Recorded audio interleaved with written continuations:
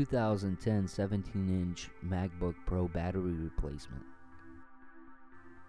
Go ahead and start by removing the seven short Phillips head screws starting at the top left and going around the contour of the MacBook clockwise.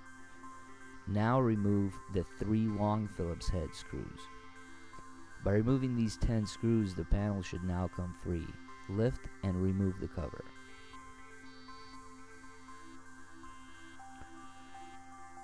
Battery removal. Start off by disconnecting the battery. Pull on the lever and pry it out of its socket. Remove the three tri-wing screws that are holding down the battery.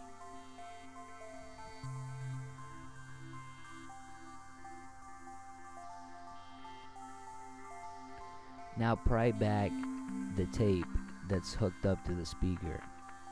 This might be a little hard.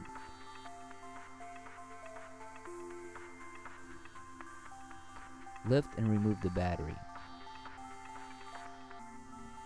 Battery reinstallation. Insert the battery in at an angle bottom first and drop it into its socket. Reinstall the three tri-wing screws. One on the left, one in the middle, and one on the right corner. Reconnect the battery. This might be a little tricky.